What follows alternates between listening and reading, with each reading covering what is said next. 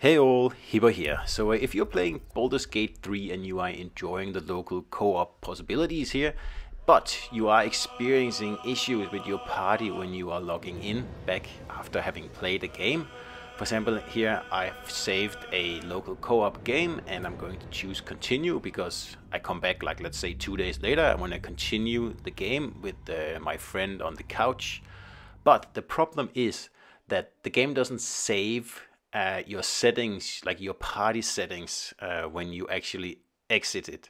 So uh, you have to uh, figure that out when you reload the game. And a lot of people have, have asked me this question, how do I do that? And uh, in this video here, I will show you exactly how you do it. It's a little bit silly that Larian hasn't thought of this, uh, but luckily it's fairly easy to fix. And it's just annoying. You're gonna have to do it every time you load a save game where you play local couch co-op, okay? So uh, in this example here, I'm loading in player one first, and then I press start on the second controller to add the second player into the local co-op game here. So, uh, so far so good, right? Uh, but the problem is that at as of this moment, player 1 controls the whole party, and player 2 only controls themselves. So I want to make it so uh, each player controls, you know, like their own player and also uh, one of the uh, like party members. So you see here, I'm controlling three players. That's how it always starts after you uh, load the co-op game. But uh, luckily, all you have to do is just pick the character you want to switch over to uh, the second row. In this case, I'm picking Astarion because he's really annoying, I think. no, I actually like him. Then just press X and that's it.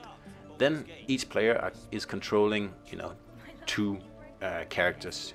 You can also make it like three for one player, whatever you want to do, uh, or all four, for example but what's the point of co-op then, right? So anyway, this is how most people want it, two each, and uh, that's it. But that's not actually the complete thing, because you can see I'm moving around and, you know, I don't have anyone following me. So uh, that's another thing that the game forgets when you save and then you reload and close the game. So uh, you actually have to uh, group your characters as well. Luckily that's easy, press L2 and uh, you know my characters are the top two characters, so all you have to do is press the square button on both characters. Uh, and then they will be grouped together. And after you do that, uh, they will, uh, like the, the computer control control character will then follow me around. And uh, that's what you want. And of course, if you want to leave the character somewhere, you can just uh, turn the grouping off again.